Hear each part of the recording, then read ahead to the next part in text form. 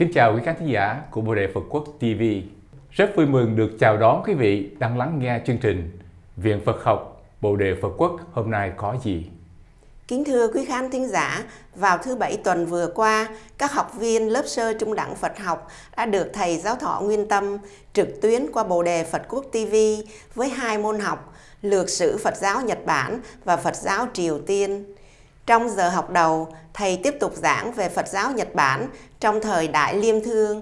Đây là thời đại của sự tổng hợp tinh hoa sáu tông phái, Tịnh Độ Tông, Tịnh Độ Chân Tông, Thời Tông, Nhật Liên Tông, Lâm Tế Tông và Tào Động Tông. Trong thời gian này, Phật giáo Nhật Bản phát triển rất mạnh mẽ và đưa Phật giáo lên mức cực thịnh. Từ buổi phôi thai, Phật giáo còn bị xem như là tha quốc thần hay phiên thần cho đến khi được chấp nhận và trở thành quốc giáo. Sau hơn mười mấy thế kỷ phát triển, qua nhiều thời đại như Phi Điểu, Nại Lương, Bình An và Liêm Thường, các tông phái đã tạo nên một vườn hoa Phật giáo rất đặc sắc và muôn màu. Sau tịnh độ tông, phải kể đến tịnh độ chân tông và những tông phái còn lại. Đặc biệt nhất là Nhật Liên Tông với xuất hiện của các tân tăng binh trong sự xung đột và đàn áp từ nhiều tông phái khác. Thầy phân tích rằng chỉ riêng tịnh độ giáo, tức Phật giáo theo tín ngưỡng tụng niệm Phật A Di Đà thì ít nhất có bốn tông phái đó là Tịnh Độ Tông, Tịnh Độ Chân Tông, Thời Tông và Dung Thông Niệm Phật Tông. Bốn tông phái này đã cống hiến cho thời đại Phật giáo Liêm Thương nhiều sự phát triển cực thịnh và vô cùng quan trọng trên đất nước phụng tàng Điều này chính là tinh hoa rực rỡ của tín ngưỡng tịnh độ. Thầy nhấn mạnh về sự phát triển của tịnh độ chân tông do Ngài Thân Loan khởi xướng. Đây là một tông phái theo tín ngưỡng Phật A-di-đà.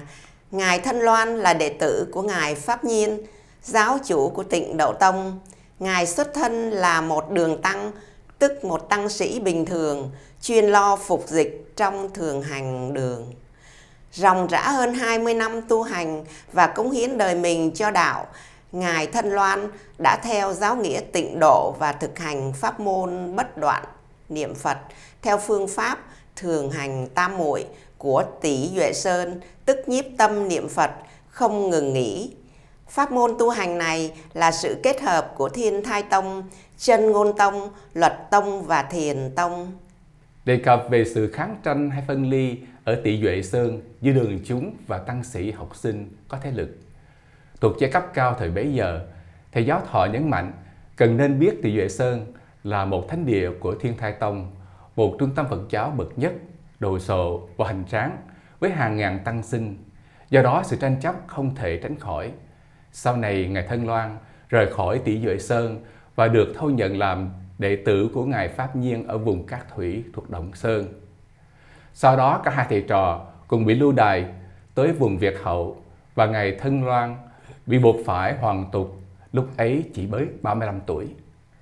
Từ nhận thức phân biệt giai cấp trong giá đoàn của xã hội đương thời, khiến Ngài nghiệm được đạo tâm, nghĩa là truy tầm tự ngã, tìm thấy sự ngu tối của mình do nhờ trí và hạnh để thoát khỏi ngã kiến. Sau đó, Ngài chủ trương lập trường phi tăng phi tục, tức không phải hàng tăng lữ lệ thuộc vào quốc gia và cũng không phải hàng tục thế bình thường, cầu danh, cầu lợi.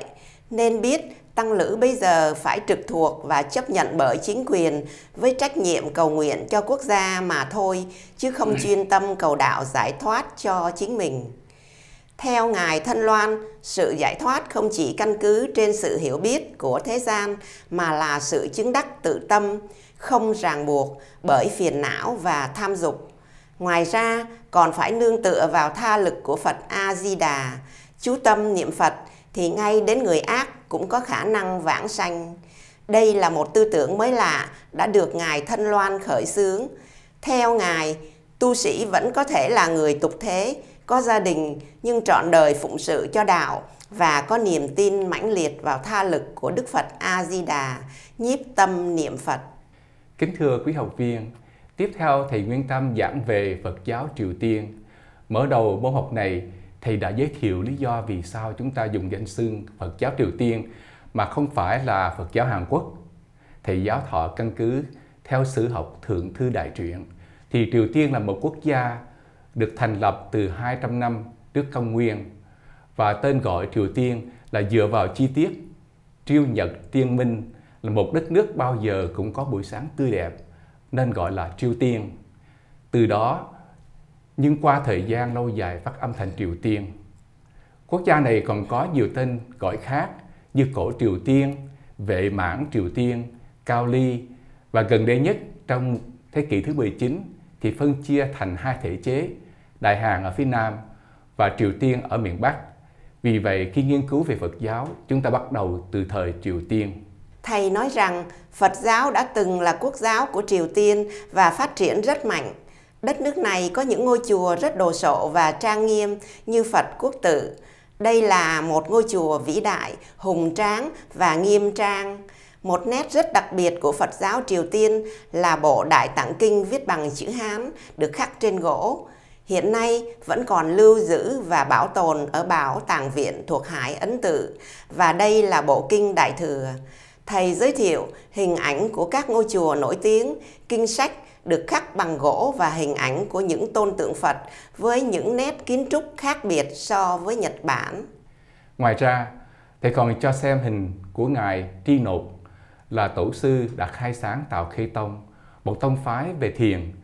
Triều Tiên có lịch sử với nền văn minh lâu đời nhất thế giới và đã hiện diện khoảng 3.000 năm. Bắt đầu từ vào thế kỷ thứ tư, họ đã sử dụng hệ thống chữ Hán và chịu ảnh hưởng của Phật giáo.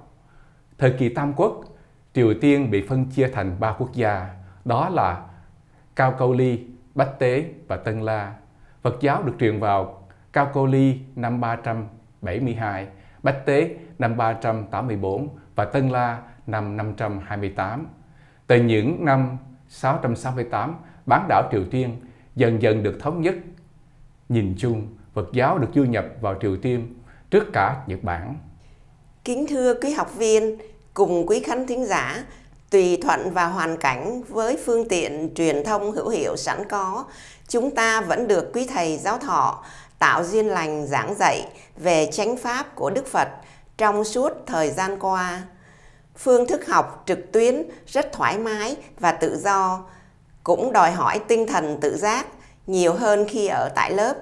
Ước mong rằng là người học Pháp Phật tinh tấn, chúng ta hãy tận dụng thời gian này tĩnh tu, niệm Phật, tụng kinh, nghe giảng, ôn lại những bài học trước, vân vân đã được lưu trữ tại Bồ đề Phật Quốc org.